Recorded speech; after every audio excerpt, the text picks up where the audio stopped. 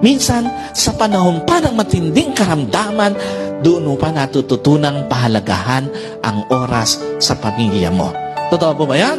Sometimes, kung kailan nandoon na tayo sa matinding karamdaman, saka natin natutunan ang halaga pala ng oras para sa pamilya.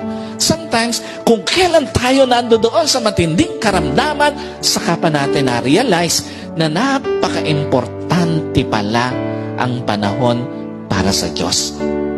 Sometimes, kung kailan nandoon na tayo, saka natin natututunan ang kahalagahan ng paglapit sa Diyos. At minsan, sa panahon pa ng matinding karamdaman, doon pa tayo natututong magpatawad sa mga nakasakit sa atin. Totoo po ba? Madalas nangyayari yon. Kung kailan may sakit ka na, doon pa nararamdaman na napakahalaga pala ng pamilya at ng oras sa pamilya. Kung kailan may sakit ka na, doon mo pa nare-realize na napaka-importante pala ang paglapit sa Diyos. At kung kailan may sakit ka na, doon mo pa natutunan ang magpatawad sa mga nakasakit sa iyo.